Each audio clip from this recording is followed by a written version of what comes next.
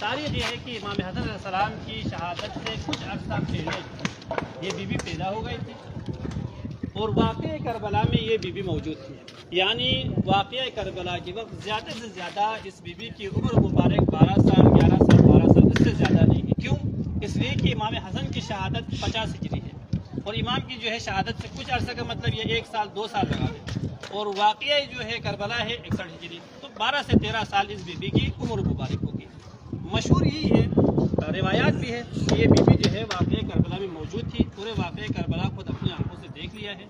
और जब वाक़ करबला के बाद, जोहर आशूर के बाद जब, मस्तूरात को जब असीर किया गया तो काफिले में ये बीबी मौजूद थी, यहाँ तक कि कोफा तक।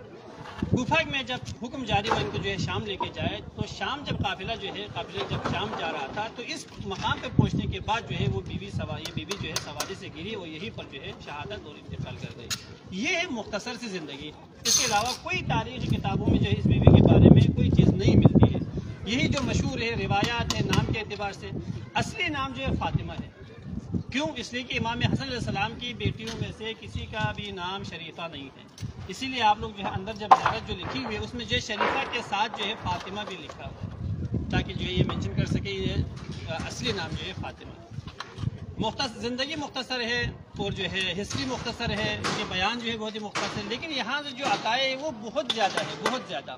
जैसे कि ख़ुद जो है ज़्यारत का पहला जुमला ये है असलम या तबीबतलमालून सलाम उस बीवी पर, जो अली लोगों के तबीबा है।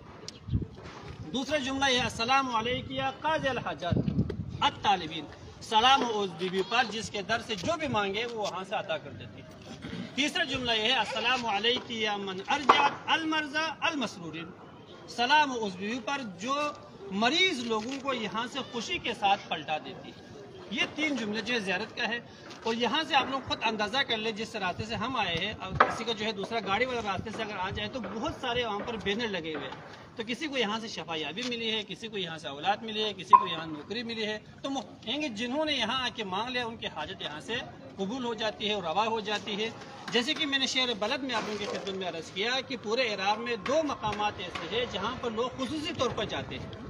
शफायाबी के लिए शहर हिल्ला जनाब शरीफ बिन इमाम हसन यहाँ आ जाते हैं।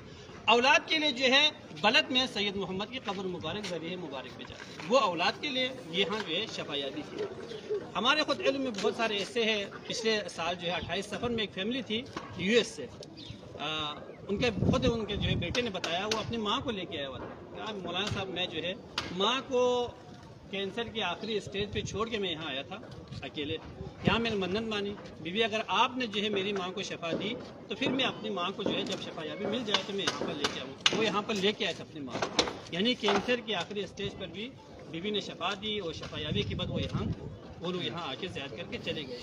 तो जितने भी बैनर में यही लिखा हुआ शफा याबी या जो है इम्तिहान में कामयाबी, अगर हमारे स्टूडेंट को है और जो है औलाद यहाँ एक बैनर पे लिखा हुआ था 18 साल बाद जो है यहाँ मन्नत माने के बाद इनके यहाँ जो औलाद हो गई है। मन्नत माने का तरीका जैसे मैंने शहरी बलत में जो आप लोगों की खिदमत अर्ज़ किया अगर आपने अपनी मन्नत में जो परवरदिगार आलम को शामिल कर लिया उसे मन्नत शरी कहा जाएगा। उस मन्नत को जो है पूरा करना इनकी हाजत रवा होने के बाद मन्नत को पूरा करना ज़रूरी है न करने की सूरत में कफारे के तौर पर रोज़ा वाजिब हो जाएगा। अगर जिस तरह हम अपने पाकिस्तान में इस तरह मन्नत मानते हैं अगर उस तरह से मान लिया तो उस उस मन्नत की मुखालफत कर, कर ले तो कफ़ारा वाजिब नहीं है, लेकिन इखलाकी तौर पर जो है उसको मन्नत को पूरा करना चाहिए। हमेशा ही बात करता हूँ, यहाँ भी